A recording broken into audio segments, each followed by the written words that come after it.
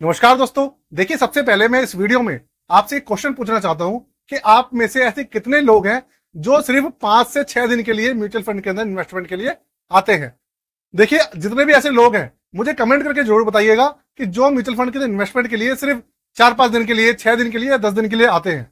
मैं ऐसा क्वेश्चन क्यों कर रहा हूँ? उसका भी मैं आपको जवाब देता हूँ। देखिए अब भी आपको पता होगा कि रिसेंटली पिछले महीने एक एनएफओ आया था, जिसका नाम था Motilal Oswal Nifty India defence index fund. पहले लोगों ने इसके अंदर भर भर के एनएफओ के अंदर इन्वेस्ट करा। करीबन करीबन 1700 करोड़ के आसपास इसके अंदर एनएफओ के अंदर जो स्टार्टिंग मनी होती है, वो आ गई। ठीक है? 11 जुलाई को ये जो फंड था, ये लिस्ट हुआ। अब ये फंड जो है, ये माइनस में चल रहा है। तो आप ये समझिए कि ये फंड जो माइनस में आ गया है तो लोगों के अंदर इतना ज़्यादा डर का माहौल बन गया है कि लोगों ने, अगर आप मेरे कमेंट से चेक करेंगे ना तो आपको आइडिया लगेगा कि उसके अंदर लोग कितना ज़्यादा डर रहे हैं। सब कह रहे हैं कि भैया इस फंड के अंदर इन्वेस्ट करके गलती कर दी। कहीं इस फंड के अंदर फंस तो नहीं गए? ऐसा ना हो कि मेरा पैसा ही ज़ीरो हो जाए। ऐसे ऐसे कमेंट्स आ रहे हैं और ऐसे ऐसे मेरे पास मैसेज और डीएम आ रहे हैं। तो बताइए, ऐसे लोगों का हम क्या कर सकते हैं जो कि म्यूचुअल फंड के अंदर इन्वेस्ट करने के मात्र सिर्फ़ अभी आप देख लीजिए, ग्यारह तारीख को लिस्ट हुआ है और आज सत्रह तारीख है। सिर्फ़ छह दिन के अंदर ही उनके अंदर इतना ज़्यादा डर बन गया है कि वो इस म्यूचुअल फंड से लॉस के अंदर एग्जिट करने की बात कर रहे हैं। तो दोस्तों, डिटेल में बात करूँगा कि भैया ये माइनस में क्यों गया है, क्या ये माइनस में और जाएगा और क्या आप इसके अंदर पैसा इन्वेस्ट करके कहीं फंस तो नहीं गए हैं। अच्छे से वीडियो देखिएगा, एंड तक देखिएगा और अपने ज़्यादा से ज़्यादा लोगों को शेयर कीजिएगा, जिससे कि जो भी ऐसे भाई हैं, जिन्होंने ऐसे किसी फंड के अंदर इन्वेस्ट किया है सवाल सिर्फ़ मोतीलाल ओसवाल डिफेंस फंड का नहीं है।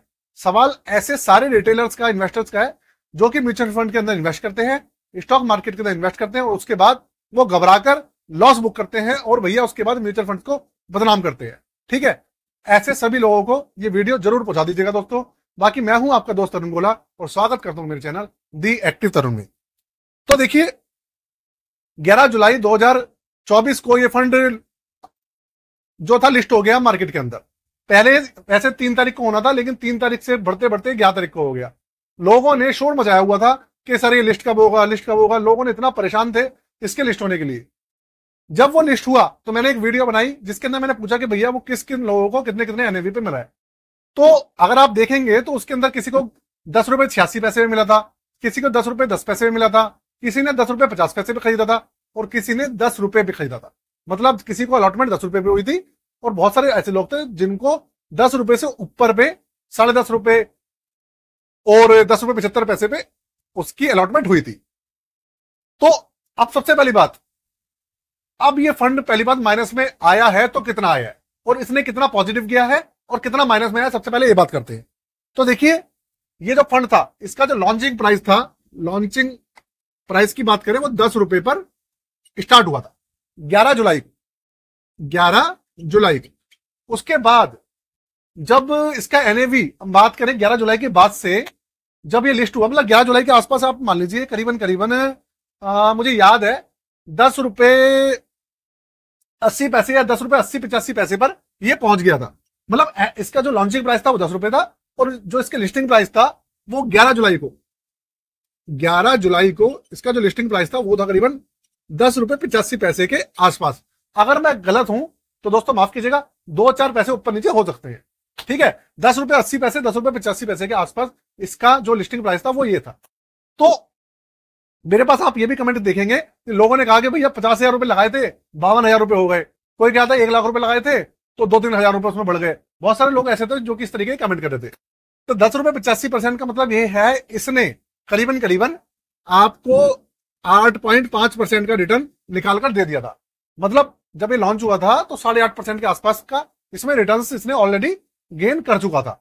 ठीक है? अब अगर बात करें आज सत्रह जुलाई को, सत्रह जुलाई को जो इसका प्राइस है अभी, देखिए वो है इसका प्राइस दस रुपए उनचास पैसे। दस रुपए उनचास पैसे है।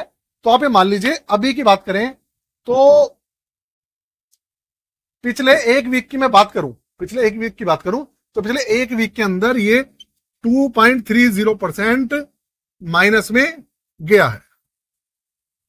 मतलब कहने का यह है कि साढ़े आठ परसेंट का रिटर्न दिया था, उसमें से करीबन दो, ढाई परसेंट आप मान लीजिए कि भैया ढाई परसेंट ये माइनस में चला गया, ढाई परसेंट या तीन परसेंट आप मान लीजिए माइनस में चला गया तो भी अभी भी ये पाँच परसेंट माइनस पाँच परसेंट प्लस में है। तभी तो दस रुपये उनचास पैसा इसका प्राइस है।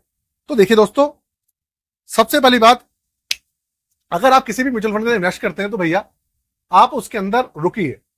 अब ऐसे जितने भी मेरे भाई हैं, जो कि उन्होंने दस दस लाख रुपए पाँच पाँच लाख रुपए लगाए, सोचिए आपने अपने हार्ड मनी ऐसे फंड्स के अंदर लगाई, है ना?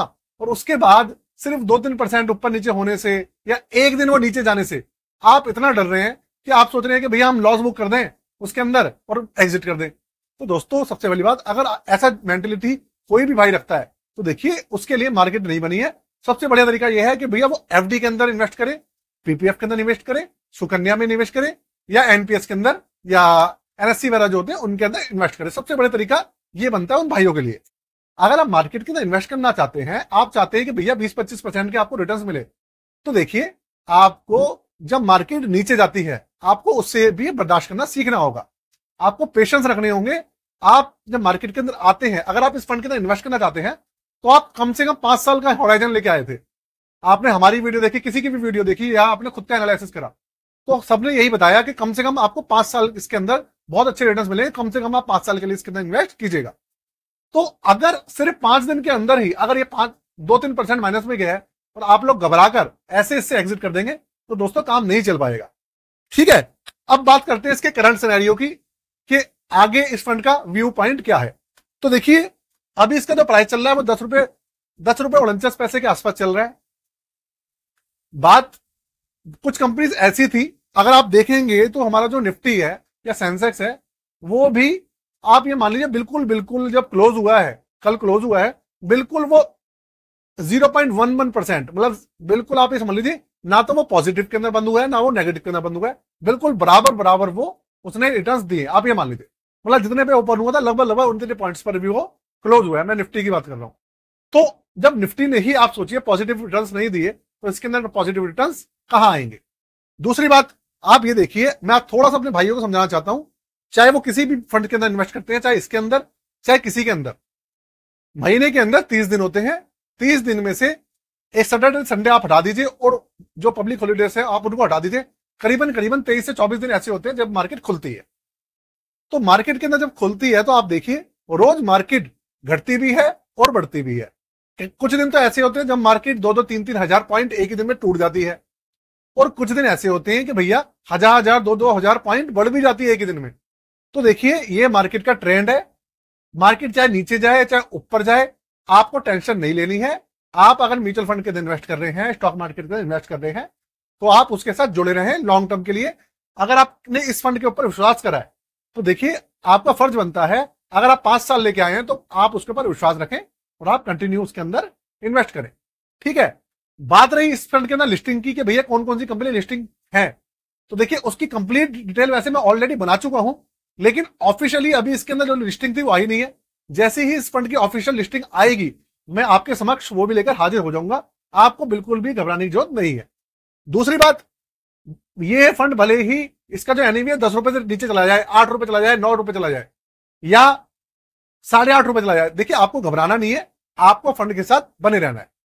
अगर आप जाके देखेंगे अमेरिका के अंदर इस समय इस टाइम मंदी का टाइम चल रहा है, उसके अंदर रिसेशन आने के पूरे पूरे चांसेस हैं। आप देखिए, जो चीन है, चीन को भी कई बिलियन डॉलर्स का आपसे जो नुकसान नुकसान हुआ है।